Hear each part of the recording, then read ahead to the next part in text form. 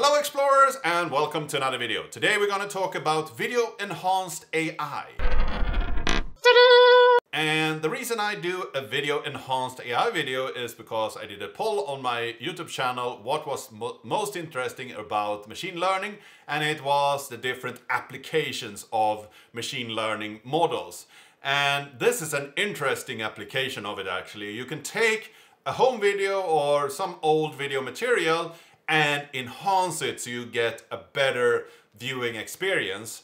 And I have a lot of videos, so I wanted to try this out a little bit. So let's jump over here to my screen and you see here, this is the interface. It's written in Q, uh, Qt and it's pretty simple. You have some in, uh, settings here for if you have a low quality video, if you have a medium or high, if it's progressive, interlaced or CG, and then you can choose a compression uh, algorithm here. If it's a high compressed video, if it's noisy, blurry, or if it's a lot of jitter, so you can run those different models. And then the output here, you can have a bunch of different formats, and they are different depending on uh, what video quality you choose. The output size can be anything from SD all the way to 8K if you want to try that out. You can uh, see if you have a lot of uh, grain and so on, you can change uh, those settings a bit to improve things. And you can also change the video format and uh, how many frames per second you should have. So there is a bunch of settings here and you can fiddle around with them in order to see what the result would be.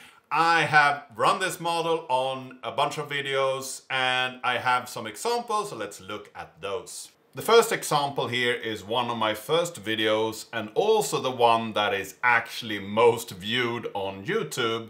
And you can see here that it can actually make a big difference if you have text and so on that you want to clear up and we get a totally different one when we actually scale it up into a larger setting. So let's switch to the next um, part of this video here. In this next example here, we can see that on the top half, we have really bright colors and also not as blurry as a result. And the old video on the bottom half path is actually half the size of the ones up above and we can see here that all the text is a little bit blurry, a little bit less colorful and so on. So the upper part, they have really brightened up the color and really fixed the text so it's very legible in the overhead path.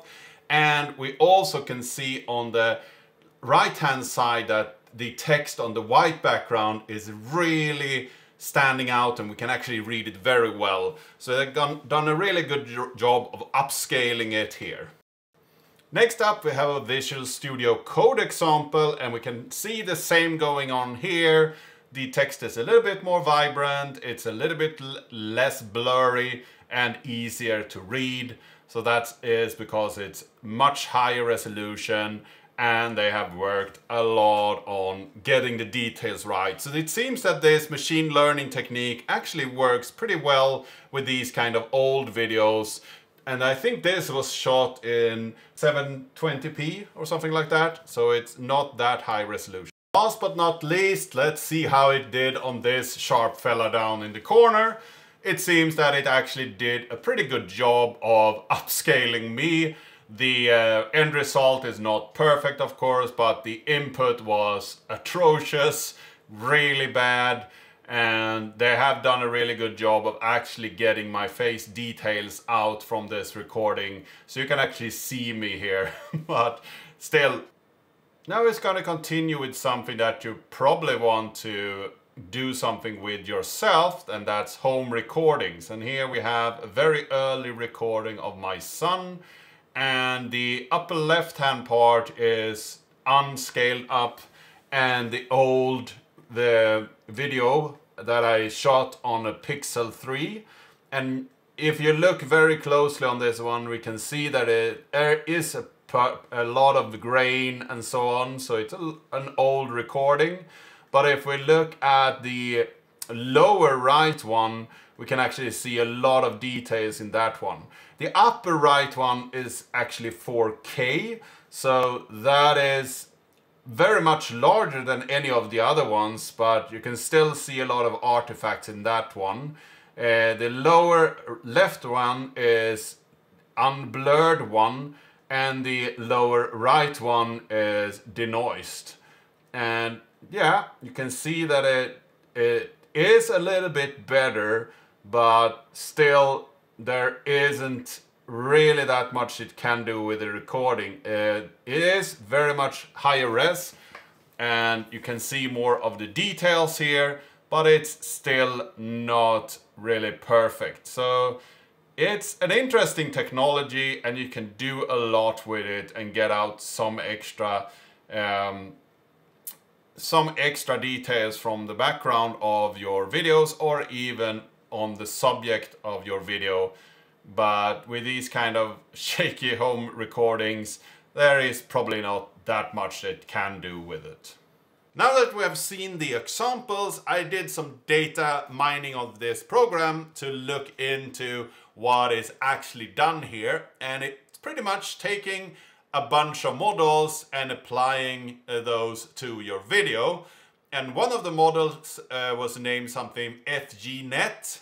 And FGNet is, if you Google for it, something that is used for face uh, detection or face recognition. So that's interesting that they have taken that model and reapplied it to this specific functionality. And other than that, I can't really look at the specific models because those are compressed with a password. And decrypting that would be highly unethical, probably illegal and a breach of contract, and I will not do that. But looking at files on disk should be just fine. So there is a cache file that I thought was really interesting here. This cache file says a little bit about the different models. They have something called version 2 here with 24 or 64 uh, layers or could it be bits or something like that. Different uh, compression algorithms, uh, not really clear. And then they say that they have about 1400 convolution models here and then uh, about 30 fully connected layers and then some extra layers in order to get the output. Uh, and the same goes for the 64 here, where you have about 900 convolution models, and then a bunch of fully connected, around 20 or so, and then some more in order to get this final result.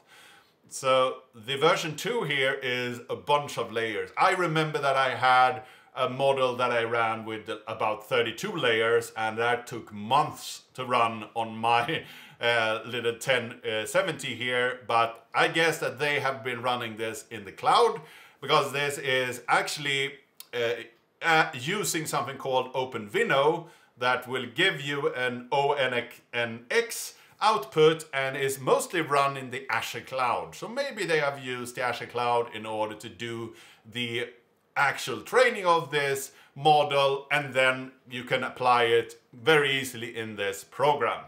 So it's an interesting application, an interesting program, not super expensive. If you're using it uh, in the free uh, version as I do, you get a watermark. But if you pay for it, you will of course not have that. So this was what I wanted to cover today. I hope that you found this interesting. I hope that you learned something today. If you like this video, give it a like, share it with your friends and colleagues. If you have used this program or have any other comments or suggestions, leave them down in the comment section down below. If you haven't subscribed, please do that. And I really hope to see you in the next video.